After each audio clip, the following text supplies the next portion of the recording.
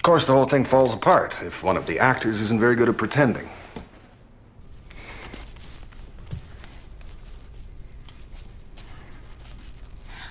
And will not come again. No, no, he is dead. Go to thy deathbed. Stop! For God's sake, stop. What? Where is this coming from? What? This staggering about with your mouth open? You're being sarcastic again with me. Please don't be sarcastic. Actually, I'm not. Sorry. Ophelia's mad. Right? I'm playing madness. Right. And how does staggering about with your mouth open suggest madness? I'm not mad. Right. And I never have been, so I have to simulate it. Right. I'm using sense memory. I'm remembering what it was like being stoned, and I'm using that. I'm disoriented. My head is spinning. I think that's what it's probably like when you're insane. Right. Well, it's not. Trust me. That's what it's like when you're stoned. Oh, forgive me. I mean no disrespect, but I don't have your experience with insanity.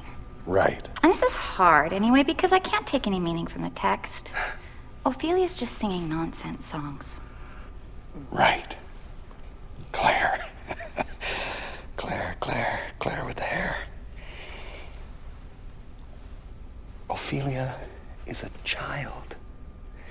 She has been dominated by powerful men all of her life, and suddenly they all disappear. Her brother goes to France. Her father is murdered by her boyfriend, and he is shipped off to England.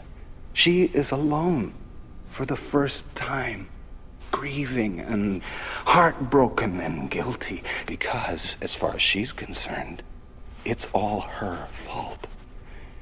She ignored her brother's advice and fell in love with Hamlet, and now her father is dead, all because of her. And the pain and the loss and the shame and the guilt, all of this is gnawing away inside this little child's mind, and it comes out as little songs.